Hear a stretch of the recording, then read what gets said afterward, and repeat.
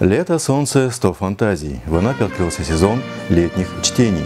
Библиотеки города устраивают книжные выставки, интеллектуальные игры, викторины и мастер-классы.